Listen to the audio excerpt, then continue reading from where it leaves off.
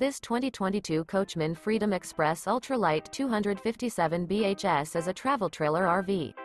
It is located in North East Pennsylvania 16428 and is offered for sale by Ray Wakley's RV Center.